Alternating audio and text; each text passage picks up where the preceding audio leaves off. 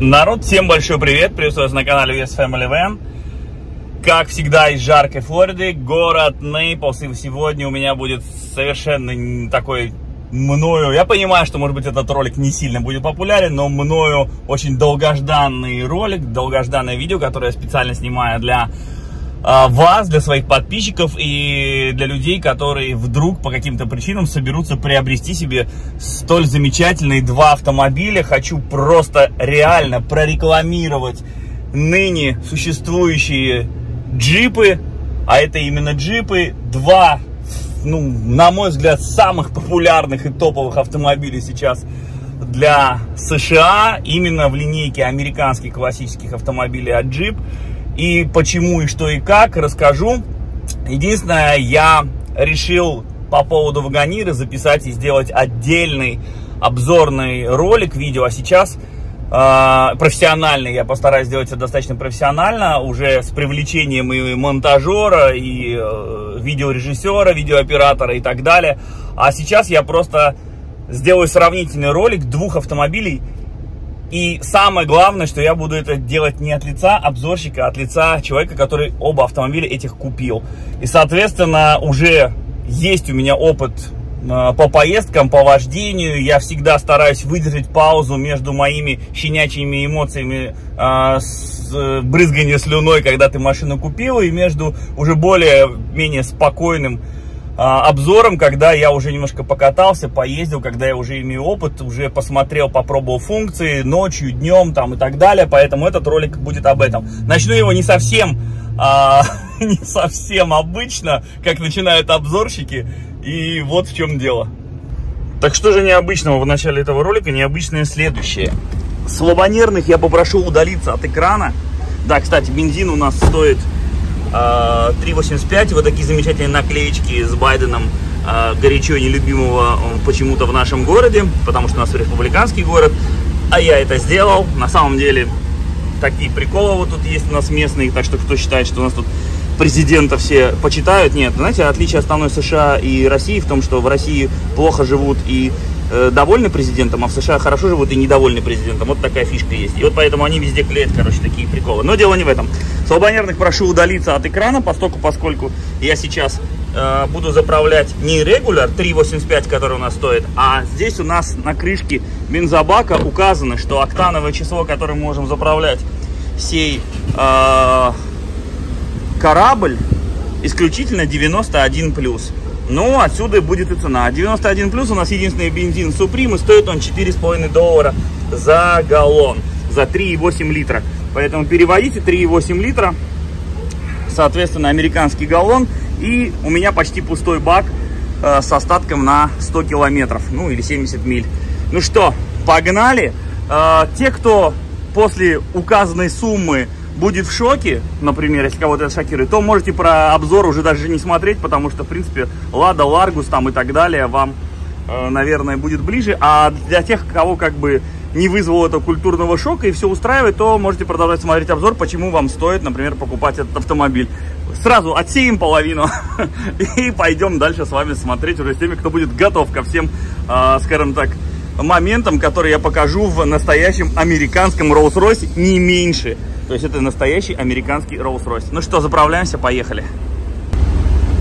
Ну что ж, друзья мои, в общем, 93 доллара за 20 галлонов. Вот такой вот получился у меня счет за заправку. И те, кто сейчас э, сказали да ну на, закрывая монитор, уже без, без вопросов, уже вам вряд ли будет интересно, что там внутри, какие отличия и так далее. Поэтому забейте и не, не психуйте перед экранами.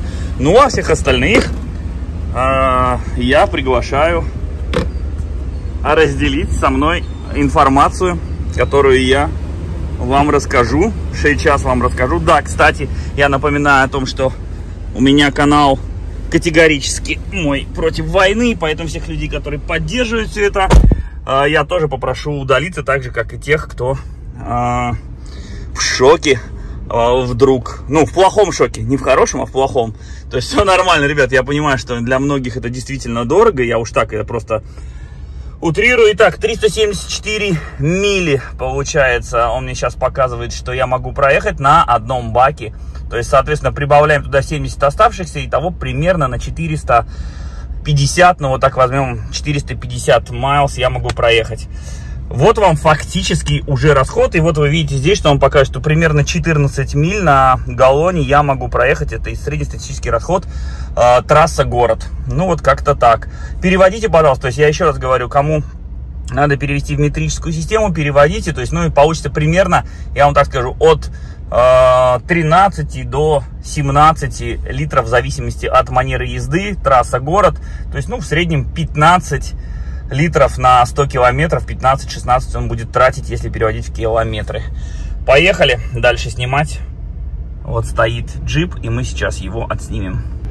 Да, но надо справедливости ради сказать, что тех людей, которые отвалились уже, э, или готовы были отвалиться на моменте заправки Вагонира, Гранд Вагонира, я с удовольствием приглашаю на обзор э, Гранд Чироки, который существенно Э, вам сэкономит со своим 3.6. И, ну и, соответственно, я расскажу, у меня есть обзор подробнейший на мой Чироки. Посмотрите, он уже записан, он уже в двух частях, очень-очень подробный, но в принципе я могу сказать, что там реально существенная экономия, а мы просто с вами, сейчас вам покажу, стоит ли или не стоит, вы каждый будет решать сами сам будет решать, э, стоит ли переплачивать за вагониры, нужен ли вам американский Rolls-Royce или достаточно какого-нибудь альтернативы, не побоюсь честно сказать, Range Rover э, Sport, например. Вот как-то вот так вот, если примерно соизмерять. Ну, я понимаю, сейчас вы там покидаете камни, но поверьте мне, я сейчас понимаю, о чем говорю, потому что новый Чироки в комплектации Summit, поверьте мне, вряд ли уступит э, какому-нибудь Range Rover. Просто посмотрите обзоры ребят, которые делают на э, Ram Truck, московская компания, они делают, посмотрите, как они классно делают обзоры, и они подробно рассказывают, сравнивают, и там все это дело видно. Если вдруг не доверяете лично моему мнению. Поехали дальше. Ну что, народ, два самых замечательных автомобиля – самых э, красивых джипов, мне кажется, во всей истории. И мы с вами, нам с вами удалось заснять их, мне удалось для вас в сравнении друг рядом с другом. И я сейчас немножечко помешаю э, проезду, но тем не менее я все равно вам поснимаю их самых красивых ракурсов. И давайте посмотрим, в чем же отличие этих двух основных автомобилей снаружи, внутри, конечно же, прокачусь и расскажу уже из опыта э, поездок как э, владелец. Соответственно, самый, самый классный и почти самый крутой флагман от компании Jeep Grand Wagoneer, который, обзор на который я еще запилю очень подробный в виде прямо видеоинструкции для владельцев. Очень все просят. И Grand Cherokee версии L, он же есть в упрощенной версии, уже вышел, уже есть машина 22 года, тоже есть подробный обзор. Что мы с вами вкратце имеем здесь? Мы имеем Grand Wagoneer, который во всех своих комплектациях, а именно Series 1, Series 2 Series 3, э, имеет двигатель 6.4 Hemi, один из самых надежных, один из самых классных, Э, мощностью 470 лошадиных сил. И, в принципе, этот автомобиль сделан на базе Dodge Ram или Ram уже. Э, все знают его как Ram. То есть та же, в принципе, рама. Очень много решений, которые есть у этого автомобиля. И абсолютно новая платформа, на 100% новая, которая используется благодаря сотрудничеству с компанией Альфа Ромео. Это Jeep Grand Cherokee L. То есть этот автомобиль полностью новый, а этот автомобиль э, сделан на платформе уже ныне существующего. Поэтому, соответственно, мы можем вам сказать, ну, я вам могу сказать так, что э, и тот, и тот автомобиль, э, скажем так, заслуживает внимания, при том, при всем, что э, итого 3,6 мощностью э, 393 лошадиные силы и 6,4 мощностью 470 лошадиных сил. Колесные базы у них по длине одинаковые. И, в принципе, э, в этом плане вы никак не, не претерпеваете ничего. В случае же, конечно же, самих размеров, Гранд э, Вагонир на сегодняшний день один из самых больших автомобилей, больше, чем Cadillac Escalade, больше, чем Линкольн Навигатор. Э, классическая версия Гранд Вагонира сравнима практически с Cadillac Escalade ESV, то есть удлиненной версии. И, в принципе, э, весь этот э, объем у него ушел именно в салон. То есть багажник при этом у нас не сильно большой. Все семейные черты, как вы видите, сохранены. Единственное, сразу говорю о том, что Grand Wagoneer, вот эта, эта конкретная версия, она э, специальное издание, Special Edition, это Grand Wagoneer Obsidian. Э, есть точно такая же версия в сером цвете, и она называется карбид. То есть тоже нету ни грамма хрома, серый карбид э, офигенно смотрится для тех, кто, допустим, устал от черного и не, ему не нужен черный. В случае Чироки, Гранд Чироки L, версий достаточно много. Самая классная, самая заряженная это Summit, которая очень классно смотрится в белом цвете с черной крышей на манер э, Range Rover. То есть это как бы версия, которая, на мой взгляд, является одни, одной из флагманских. При этом мы с вами видим схожие черты, только если на самом джипе Grand Cherokee у нас везде надписи Jeep, Jeep, то есть на стекле везде Jeep, Grand Cherokee, на колесах Jeep, то в случае вагониры мы с вами этих надписей нигде не увидим, ну, за исключением вот такой вот маленькой надписи черной и там где-то на стекле. То есть, а так, сплошные надписи Grand Wagoneer, Wagoneer, Grand Wagoneer. Здесь большие буквы, то есть все это в принципе, говорит о том, что они, компания Jeep Chrysler, она решила выделить эту модель э, максимально отдельное звено и, в принципе, версии, что мы с вами вообще имеем, я вам так расскажу. Начинается от Cherokee простого, Cherokee L, Cherokee L в комплектациях от Limited, ну, там есть еще base версия, но она редкость большая, то есть ее, в принципе, никто не берет, она не особо востребована. То есть версия Limited, затем идет э, уже более навороченная версия э, Overland и Summit эту линейку закрывает. При этом версия есть моноприводная и полноприводная. В случае же Вагонира мы имеем только двигатель... А, да, кстати, в, в Grand есть еще двигатель 5,7 Hemi, 400 лошадиных сил. В случае же Вагонира мы имеем только 6,4 и э, версия, которая только полноприводные. То есть моноприводных версий Grand Cherokee, не, о, Grand Wagoneer не бывает. А, шикарно смотрится Jeep Grand Cherokee. Светодиодные фары, оптика передняя. Шикарная светодиодная оптика задняя. А, стоп-сигналы и самое главное светодиодные очень яркие огни заднего света. Машина смотрится просто роскошнейшим образом, имея в принципе в своем э, исполнении все то, что имеет автомобили, любые автомобили премиального класса. Смотрится все это дело крайне-крайне роскошно. Э, в отличие от российских обзорщиков, я не буду отрывать американские флаги, потому что я недавно видел, как это сделали в обзорах ребята, но я понимаю, скрепы мешают оставить американские флаги, мне они не мешают, поэтому все окей. У меня по-прежнему американские флаги на машинах, так как они есть у первоисточника. Ну, вот здесь вы видите, загорелись светодиодные белые огни, очень-очень яркого света. И сейчас я включил головную оптику для того, чтобы вы посмотрели, как она смотрится вообще в целом. Вот таким вот образом, я не знаю, будет ли видно это днем, но очень классно смотрится оптика. И внизу зажигаются еще огни э, туман, тумана, которые тоже светодиодные. Ну вот я для вас специально зажег туманки, вы можете посмотреть, вот они вот так вот светятся. То есть на ваш экран, скорее всего, моргают, потому что они светодиодные поворотники. На самом деле они не моргают, они светятся оранжевым а, и светятся туманки, э, противотуманные фары светодиодные, очень красиво, реснички, то есть очень-очень гармонично. Ну и Гранд Вагонир собственной персоны. Сейчас мы с вами посмотрим его в проезде. Э, так как это должно смотреться на дорогах в любой точке. Вот так проезжает у нас с вами Вагонир. Видите, флажки по-прежнему на месте. Все хорошо. Совершенно роскошно смотрится оптика задняя. И поверьте, вживую он смотрится намного круче даже, чем я вам пытаюсь показать это на видео. Светодио... Э, э, задние фонари встроены вниз.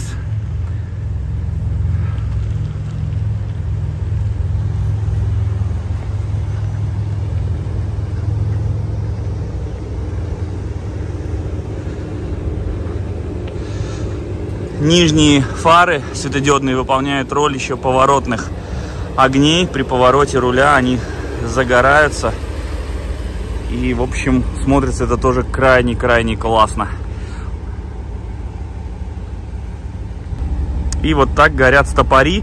Кстати, при открывании и закрывании машины они приветствуют также на манер, ну, допустим, какой-нибудь Audi, когда они просто расплываются в разные стороны. Это смотрится очень-очень тоже классно собственно, как и передняя оптика.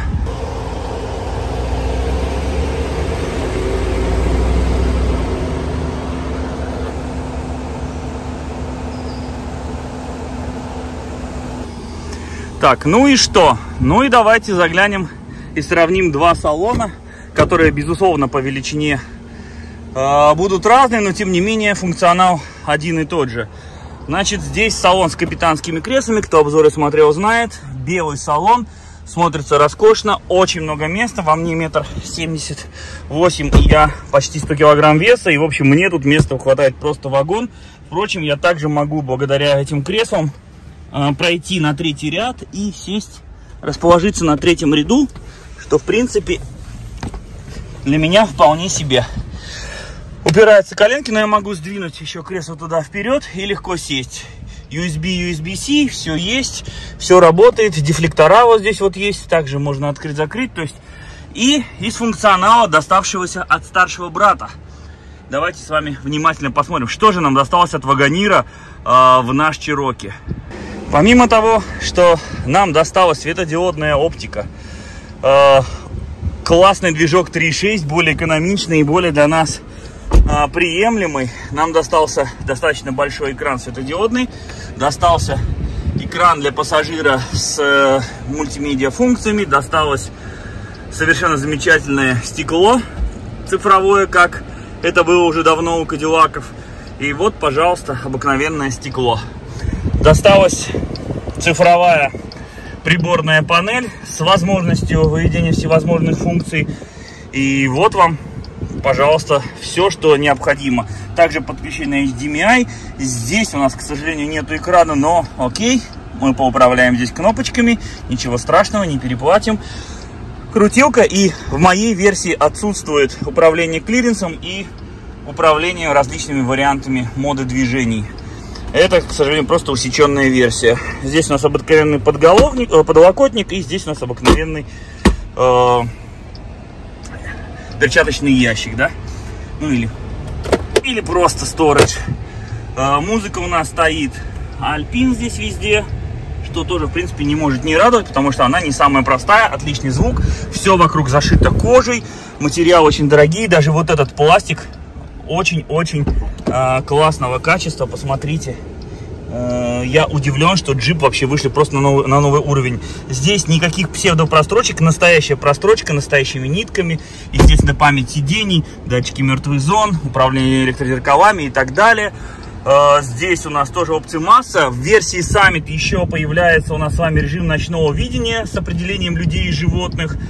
И э, прострочка, очень красивая кожа. Да, здесь, безусловно, есть у нас вентиляция сидений и так далее. Для задних пассажиров же у нас есть только подогрев и управление климат-контролем. Ну что, перемещаемся с вами по быренькому э, флагманский автомобиль, посмотрев, а что же там такого сильно крутого за более чем, ну, в два раза большие деньги.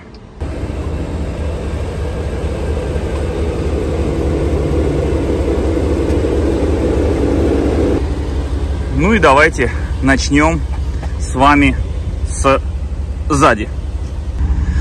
Очень шумно звучит 6.4. И мы с вами видим функцию, которая, в принципе, давно была доступна на различных автомобилях, но здесь она тоже есть по умолчанию на всех версиях. Это функция открытия кик. А, я смотрел обзоры москвичей, которые делали, и они пытались все время махать ногой на манер, как это было в Форде, вот этот вот мах. Но уже давно компания определили, что таким образом вы теряете э, равновесие быстрее, и оно не надо, поэтому сделали просто кик, соответственно, который, э, который просто махнул ногой, и вот он у вас закрывается или открывается. Кстати, еще один момент, который хочу показать на обоих версиях, то, что досталось. Мы с вами видели цифровое э, зеркало заднего вида, и вот его камера. Отдельно камера стоит здесь, просто камера заднего вида. Обзор 360 у обоих машин, и при этом, посмотрите, омывайка есть у каждой камеры. То есть вот эта маленькая штучка, это как раз омывайка для этой камеры, а это омывайка для этой камеры. То есть в, грязной, в грязном э, каком-то бездорожье или просто климате, или когда у вас какая-то зима, то есть без проблем. Здесь мы с вами то же самое видим. Вот она, омывайка этой камеры, которая цифровая, и вот она, омывайка а, камеры этой. То есть замечательно, да, они выглядят несколько иначе, но функционал сохраняется, это тоже очень классно, браво, джип.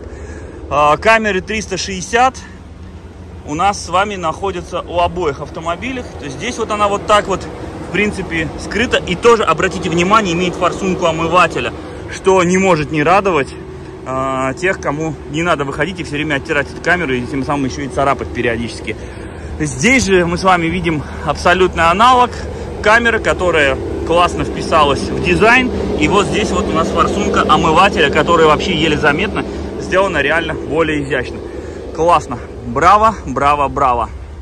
Вместе с этим хочу вам показать что объем багажника на самом деле не самый большой э, в этом в этих классах, то есть, а мы сравниваем его Lincoln Navigator и Cadillac Escalade, но, тем не менее, отличный, достаточно большой, чтобы поставить, например, стаймя тут, там, 2-3 чемодана и что-то положить. Здесь э, совершенно роскошные коврики, которые очень мягкие, с длинным ворсом, очень красиво смотрятся, очень, так скажем, luxury.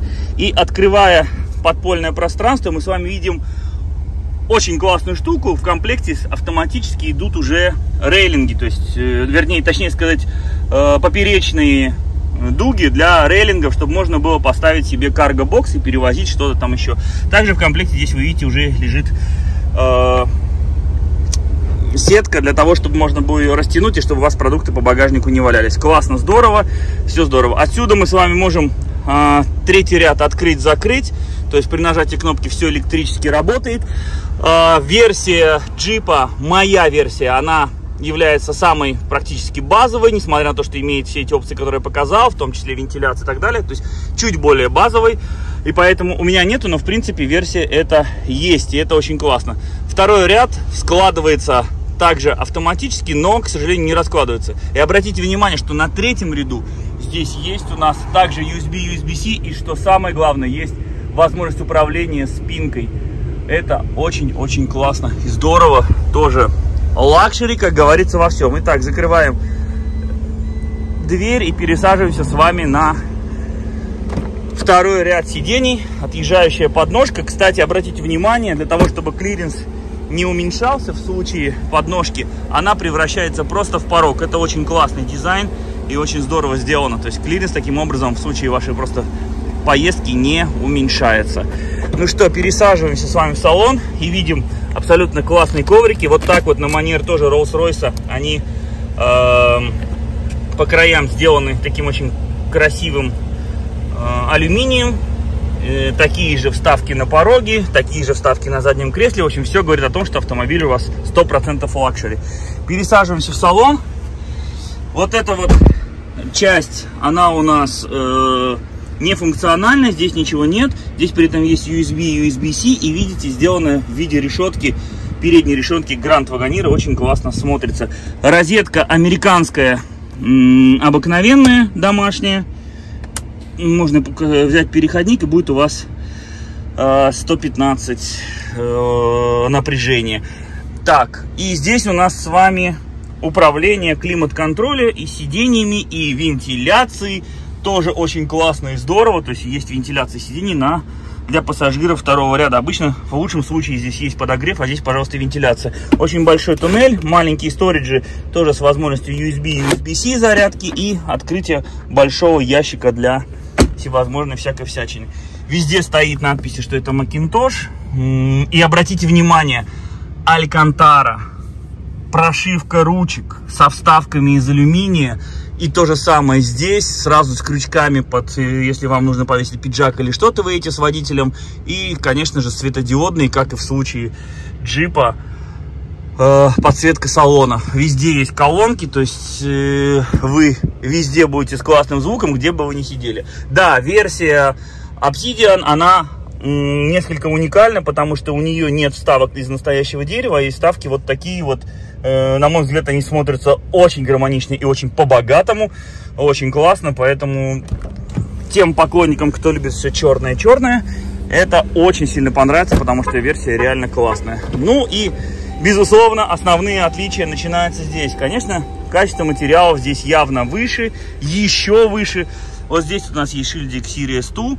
А, есть Series Free. Series Free отличается тем, что у вас появляется потолочная камера э, с 360 градусов, и вы можете, допустим, э, даже с пассажирского кресла мама может наблюдать за детьми, или вы можете наблюдать за детьми или пассажирами сзади, которые едут, что и как. Э, здесь в этой версии ее нет. И нет здесь, к сожалению, ночного видения в этой версии.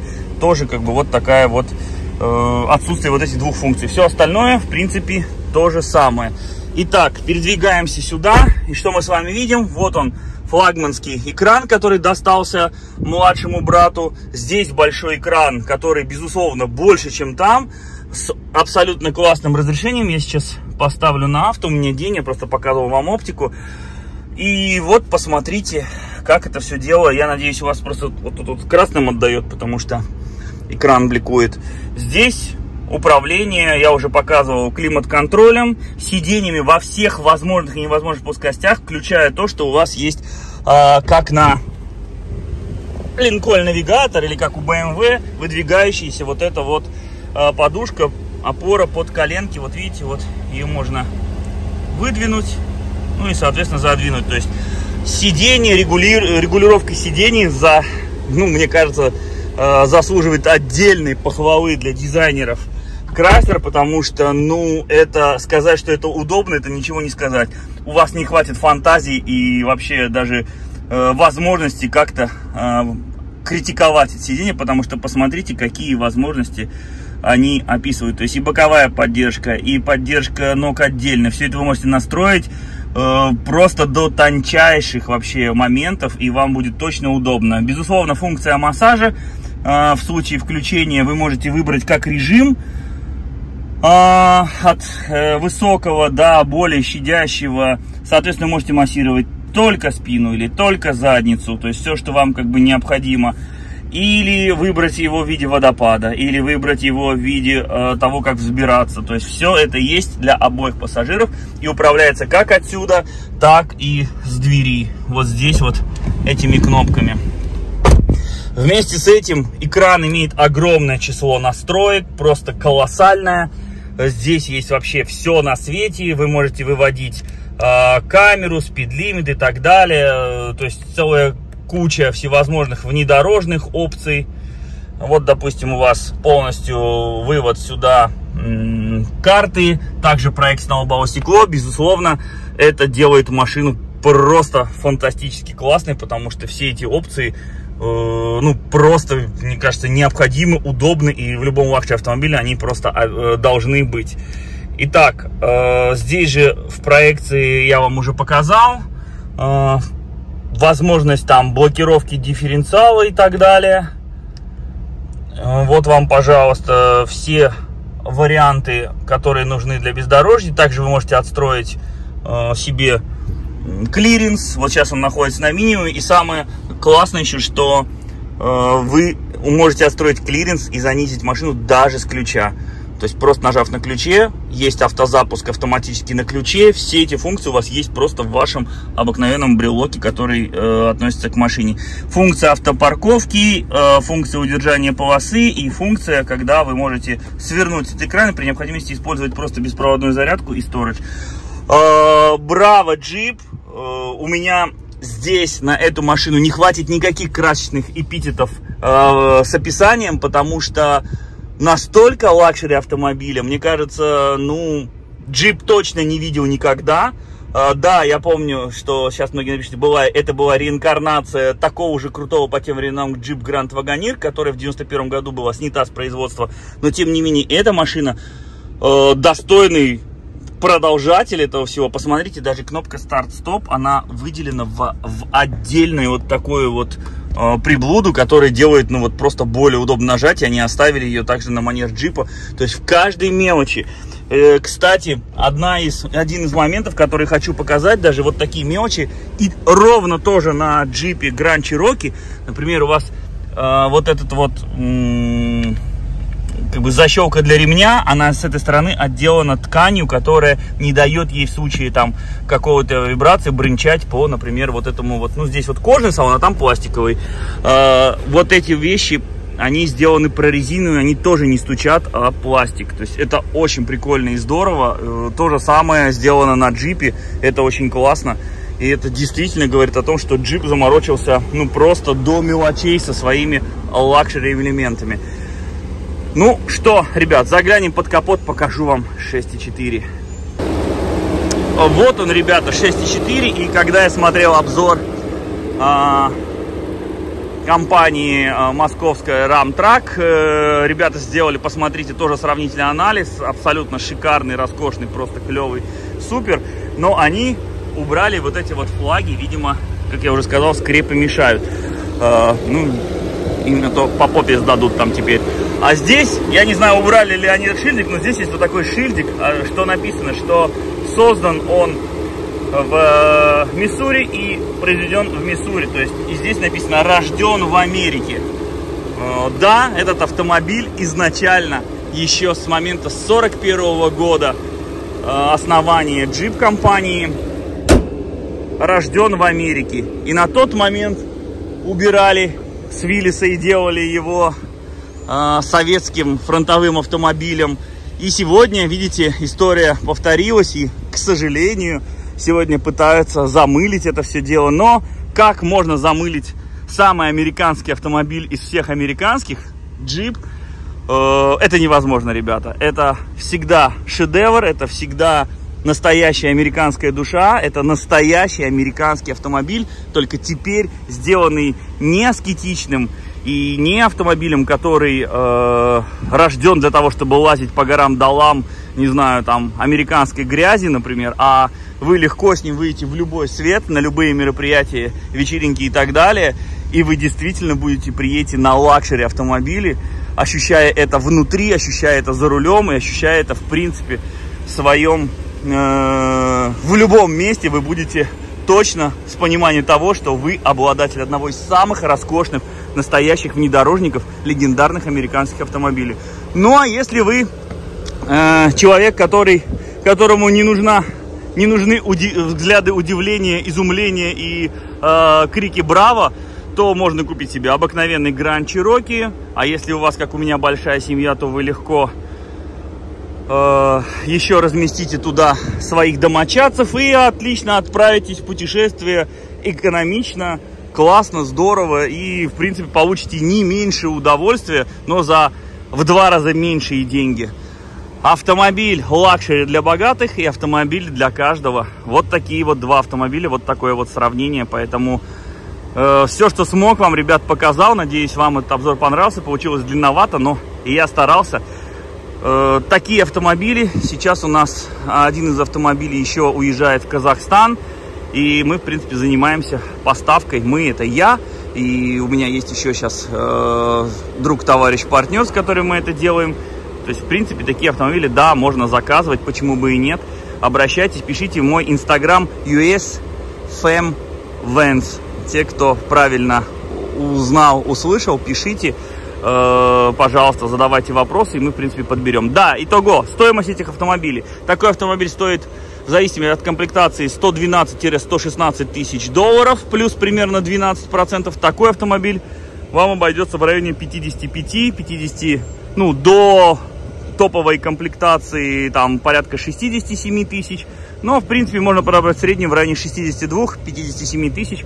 Э, это здесь плюс 12%, я обычно говорю, налоги, таксы и так далее всегда. Вот такая вот история. Пока-пока, увидимся. Спасибо, что были на канале. Надеюсь, вам понравился обзор. Отдельный обзор, очень подробный, я запишу на Вагонир и сделаю ролик более профессиональный. Все, спасибо, пока-пока.